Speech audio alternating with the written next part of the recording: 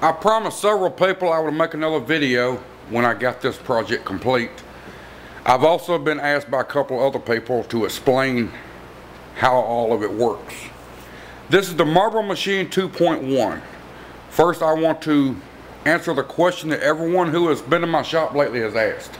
No, this is not my design. It is designed by Matthias Wandel. I will post his website link in the comments section. If you want to see some interesting machines, go to his website. The Marble Machine 2.1, there's a crank on the front that turns a small gear in the back.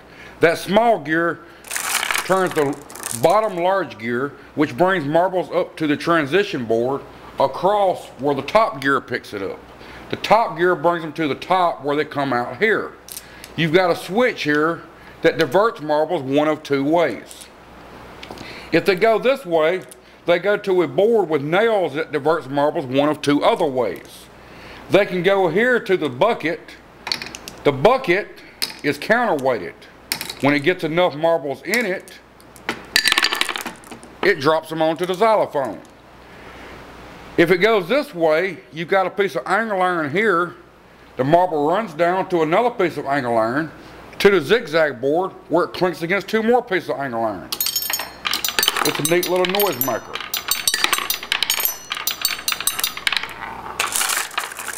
When the marbles from the switch are diverted this way, they go to a bowl. The bowl has three holes in it. After the marbles swirl around in here, they can go in one of three holes. One hole drops onto a can, which bounces the marble over to the xylophone. Another hole drops them onto another can, which bounces them onto the clackboard. The third hole drops one marble down to the seesaw type mechanism. The marble will hit here on the left run to the right. The next marble that comes down bounces that marble off of it. And that's the Marble Machine 2.1.